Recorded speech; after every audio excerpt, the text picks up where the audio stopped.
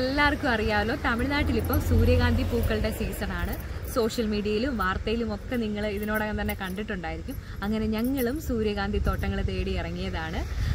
അപ്പോൾ കുറേ നാളായിട്ടുള്ള ആഗ്രഹമാണ് സൂര്യകാന്തിയുടെ സീസൺ ആകുമ്പോൾ എത്തണം എന്നുള്ളത്. കഴിഞ്ഞ തവണ ഇവിടെ വന്നിട്ട് പോയപ്പോഴും തീരുമാനിച്ചതാണ്.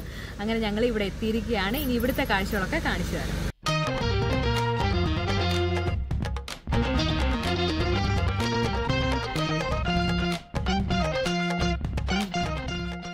തിരുവനന്തപുരവും കൊല്ലവുമായും അതിർത്തി പങ്കിടുന്ന തെങ്കാശി ജില്ലയിലാണ് എല്ലാ തവണയും കൂട്ടത്തോടെ സൂര്യകാന്തികൾ പൂക്കാറുള്ളത്.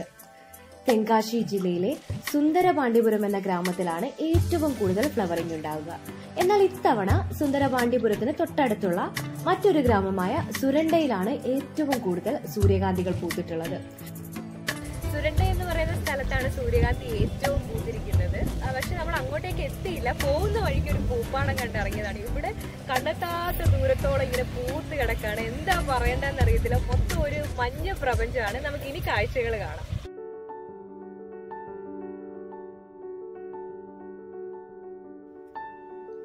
ജൂലൈ അവസാനം മുതൽ സെപ്റ്റംബർ ആദ്യ വാരം വരെയാണ് ഫ്ലവറിംഗ് ഇങ്ങനെ തന്നെ ഉണ്ടാവുക. ഞങ്ങൾ എത്തിയത് ഓഗസ്റ്റ് എട്ടിനാണ്. നല്ല രീതിയിൽ തന്നെ എല്ലാ പാടങ്ങളും ഇങ്ങനെ പൂത്തുലഞ്ഞു കിടക്കുന്ന ഒരു സ്ഥിതിയിലായിരുന്നു. നല്ല രസമായിരുന്നു കാണാൻ. എല്ലാ പാടങ്ങളും തന്നെ പൂത്തിട്ടുണ്ടായിരുന്നു.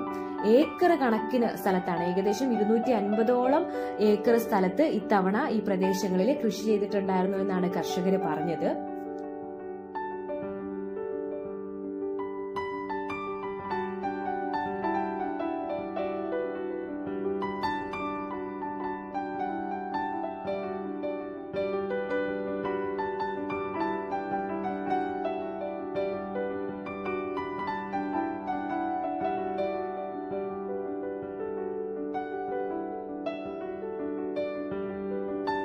സൂര്യകാന്തിയുടെ ജന്മദേശം അമേരിക്കയാണ്. വിത്തിട്ട് കഴിഞ്ഞ് അറുപത് എഴുപത് ദിവസത്തിനുള്ളിൽ ഈ ചെടികളെല്ലാം പൂക്കും. തൊണ്ണൂറ് നൂറ് ദിവസത്തിനുള്ളിൽ വിത്തെടുക്കാനായിട്ട് അതായത് സൺഫ്ലവർ ഓയിൽ ഉണ്ടാക്കാനുള്ള വിത്തെടുക്കാനായിട്ട് ചെടികൾ പാകപ്പെടും. ഇങ്ങനെ കാഴ്ചയ്ക്ക് മാത്രമല്ല സൂര്യകാന്തി കൊണ്ട് അല്ലെങ്കിൽ സൂര്യകാന്തി ചെടി കൊണ്ട് ഒരുപാട് വേറെയും ഉപയോഗങ്ങളുണ്ട്. പേപ്പർ നിർമ്മിക്കാനും കാലിത്തീറ്റ നിർമ്മാണത്തിനുമൊക്കെ ഇതിന്റെ ഇല ഉപയോഗിക്കാറുണ്ട്. പിന്നെ ഈ സൂര്യകാന്തിയുടെ വിത്ത് എണ്ണയ്ക്കായിട്ട് എടുക്കുന്ന വിത്ത് പലയിടങ്ങളിലും നട്ട്സ് ആയിട്ട് ഉപയോഗിക്കാറുണ്ട്. മാത്രമല്ല സൂര്യകാന്തി ചെടികളിൽ എത്തുന്ന കീടങ്ങൾ അതായത് മിത്ര കീടങ്ങൾ എന്നാണ് കർഷകർ പറയുന്നത് അത് നെല്ലിന്റെയും മറ്റു പച്ചക്കറി കൃഷികളുടെയും ഒക്കെ പരാഗണത്തിനും ഒരുപാട് സഹായിക്കാറുണ്ട്. ഞങ്ങൾ ആദ്യം ഇറങ്ങിയ സൂര്യകാന്തി പാടത്തിനോട് ചേർന്ന് ഒരു മുളക് കൃഷി ചെയ്യുന്ന ഒരു കൃഷിയിടം ഉണ്ടായിരുന്നു. കഴിഞ്ഞ തവണ വന്നപ്പോൾ നിങ്ങൾക്ക് വീഡിയോയിൽ കണ്ടിട്ടുണ്ടെങ്കിൽ മനസ്സിലാക്കും ആ സമയത്ത് ഇവിടെ കൃഷി ഇറക്കിയിട്ടേ ഉണ്ടായിരുന്നുള്ളൂ. അപ്പം ഒരു അണ്ണനും അക്കയും ചേർന്ന് ഇവിടെ മുളക് പിച്ചിക്കൊണ്ടിരിക്കുന്ന സമയമായിരുന്നു. എന്തായാലും ഞങ്ങൾ അവരുടെ കയ്യിൽ നിന്ന് കുറച്ച് മുളക് വാങ്ങി. കാരണം നമുക്കായിട്ട് ഇത്രയും നല്ല കാഴ്ച ഒരുക്കുന്ന കർഷകരല്ലേ? അപ്പം നമ്മളാൽ കഴിയുന്ന എന്തെങ്കിലും ഒരു സഹായം അവർക്ക് ചെയ്താൽ വളരെ നല്ലതായിരിക്കും. സുരണ്ടയിലേക്കുള്ള വഴിയിൽ പിന്നെയും സൂര്യകാന്തി പാടങ്ങൾ ഇങ്ങനെ പൂത്തു കിടക്കുന്ന കാഴ്ചയാണ് കാണുന്നത്. തൊട്ടടുത്തുള്ള വഴിയരികിലുള്ള മറ്റൊരു പാടത്ത് ഞങ്ങൾ ഇറങ്ങി. അവിടെ ഒരുപാട് മലയാളികൾ വന്നിട്ടുണ്ടായിരുന്നു. സൂര്യകാന്തി ഇങ്ങനെ പൂത്ത് നിൽക്കുന്നത് കാണാൻ കുടുംബവുമായിട്ട് ഒത്തിരി പേരെത്തിയിട്ടുണ്ടായിരുന്നു. ഫോട്ടോ എടുക്കുകയും വീഡിയോ എടുക്കുകയും ഒക്കെ ചെയ്ത് ആളുകൾ ഇങ്ങനെ കൂട്ടത്തോടെ നിൽക്കുന്ന ഒരു കാഴ്ചയും അവിടെ കാണാൻ സാധിക്കുമായിരുന്നു.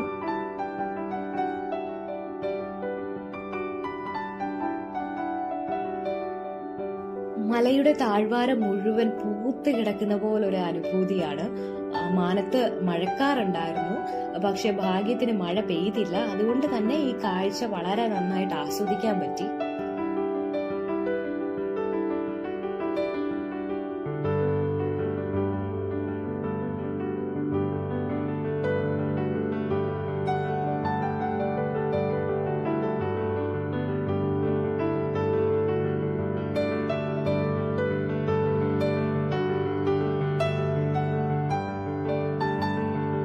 സൂര്യകാന്തി പാടങ്ങൾ ഇങ്ങനെ കണ്ട് മെല്ലെ പാടത്തുനിന്ന് കയറുകയാണ് ഈ യാത്രയിൽ ഞങ്ങൾക്ക് കൗതുകകരമായി തോന്നിയ മറ്റൊരു കാഴ്ച കൂടി ഉണ്ടായിരുന്നു. അത് നിങ്ങളെ കാണിച്ചു തരാം. ഇത് കണ്ടോ? ഉള്ളി വിളവെടുപ്പ് കഴിഞ്ഞ് കിടക്കുകയാണ്.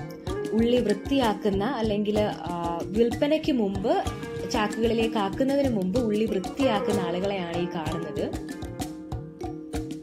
ചൂരലും ഓലയും ഉപയോഗിച്ച് ഇങ്ങനെ കെട്ടിയുണ്ടാക്കിയ ഒരു പ്രത്യേക സജ്ജീകരണത്തിലാണ് ഉള്ളി സൂക്ഷിക്കുക. വളരെ വീതി കുറവാണ്. നീളം നല്ല കൂടുതലുണ്ട് അതായത് കാറ്റ് കയറി ഉള്ളി എപ്പോഴും നല്ല ഫ്രഷ് ആയിട്ടിരിക്കാൻ വേണ്ടിയിട്ടാണ് ഇങ്ങനെ ഒരു സജ്ജീകരണത്തിൽ സൂക്ഷിക്കുന്നത്. നമ്മൾ നേരത്തെ അവിടെ കണ്ടതുപോലെ ആ ചേച്ചിമാരിരുന്ന് വൃത്തിയാക്കിയ ഉള്ളി ഇതുപോലെ ഈ സജ്ജീകരണത്തിൽ സൂക്ഷിച്ചു വെക്കും. വളരെ നല്ലൊരു അനുഭവമായിരുന്നു ആദ്യമായിട്ടാണ് ഇത്രയും ഉള്ളികൾ ഇങ്ങനെ കൂട്ടത്തോടെ കാണുന്നത്.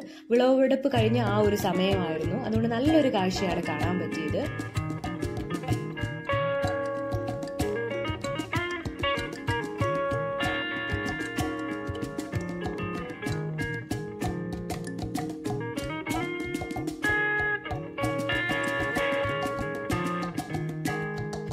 മറ്റൊരു ഉള്ളിക്കൃഷി നടത്തുന്ന തോട്ടമാണിത് അവിടെ വിളവെടുപ്പ് നടന്നുകൊണ്ടിരിക്കുന്നതേ ഉള്ളൂ ഈ ആളുകളെല്ലാം ആ, പറിച്ചു മാറ്റിയ ഉള്ളി വൃത്തിയാക്കിക്കൊണ്ടിരിക്കുകയാണ് ദിവസവേതനത്തിന് ജോലി ചെയ്യുന്ന തൊഴിലാളികളാണ് ഇവിടുത്തെ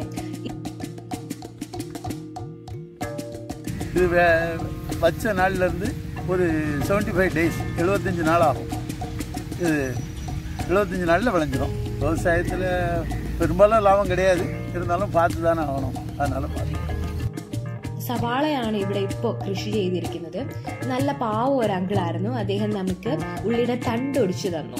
തോരൻ വെക്കാനായിട്ട് ഉള്ളിയുടെ തണ്ട് എടുത്തു തന്നു. എന്തായാലും അടുത്ത ദിവസം ഒന്ന് തോരൻ വെച്ച് നോക്കണം. ഇതുവരെ നമ്മൾ ട്രൈ ചെയ്തിട്ടില്ല.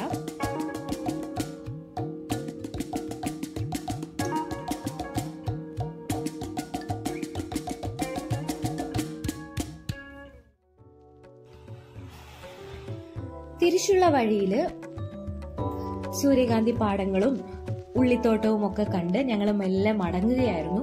അപ്പോഴാണ് വഴിയരികിൽ ഈ കോവിൽ കണ്ട് നിർത്തുന്നത്. കോവിലിന്റെ പേര് അയ്യനാർ കോവിൽ എന്നാണ്. ഇവിടെ ഇറങ്ങാനുള്ള ഒരു കാരണം അങ്ങ് ദൂരെ നിന്നേ ഇവിടുത്തെ ഒരു വലിയ പ്രതിമ കാണാൻ സാധിക്കുമായിരുന്നു. ആ പ്രതിമ തേടിയാണ് ഞങ്ങൾ ഇവിടെ നിർത്തിയത്.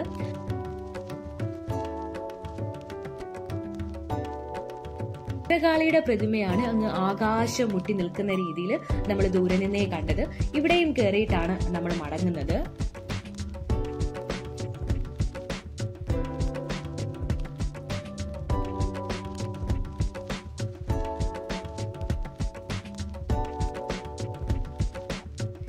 അടുത്ത വിളവിറക്കിനായി ഈ നാട് ഒരുങ്ങുകയാണ്. നിലമുഴുന്ന മനോഹരമായ ഒരു കാഴ്ച. ഇങ്ങനെ നിലമുഴുത് മണ്ണിളകി വരുന്ന സമയത്ത് അതിൽ നിന്ന് കിട്ടുന്ന ചെറു പ്രാണികളെയും കീടങ്ങളെയും ഒക്കെ പിടിക്കാനായിട്ട് കൊക്കുകൾ ഇങ്ങനെ ട്രാക്ടറിന് ചുറ്റും വട്ടം കൂടിയിരിക്കുന്ന ഒരു കാഴ്ചയാണിത്. നല്ല വിശപ്പുണ്ട്. അതുകൊണ്ട് തന്നെ ചെങ്കോട്ടയിലെത്തി ഭക്ഷണം കഴിക്കാനായിട്ട് നിർത്തിയിരിക്കുകയാണ്. ചെങ്കോട്ട എന്ന് പറയുന്നത് ഭക്ഷണ സാധനങ്ങളുടെ ഒരു ഹബ്ബാണ് ബോർഡർ ചിക്കനും ബോർഡർ പൊറോട്ടയും ഒക്കെ ഇവിടെ വളരെ ഫേമസ് ആണ്. നമ്മൾ ഇന്ന് കഴിക്കുന്നത് കൊത്തു പൊറോട്ടയാണ്. നല്ല ചൂടുള്ള കൊത്തു പൊറോട്ട. നമുക്കുള്ള കൊത്തു പൊറോട്ടയാണ് ഈ ചേട്ടന ഉണ്ടാക്കിക്കൊണ്ടിരിക്കുന്നത്.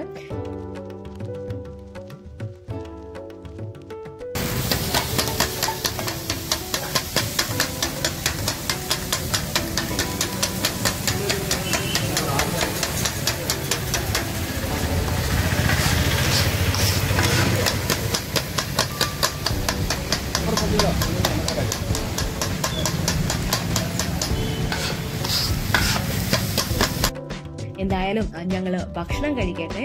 നിങ്ങൾക്ക് ഈ വീഡിയോ ഇഷ്ടപ്പെട്ടിട്ടുണ്ടെങ്കിൽ തീർച്ചയായിട്ടും ചാനൽ ഒന്ന് സബ്സ്ക്രൈബ് ചെയ്യുക. എല്ലാവർക്കും നല്ലൊരു ദിനം ആശംസിക്കുന്നു.